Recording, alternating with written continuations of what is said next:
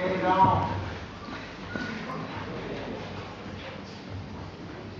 This is the awkward silence before the fun actually begins. So just give us a second. Make sure we're in tune. Well, guitars anyway, not really drums.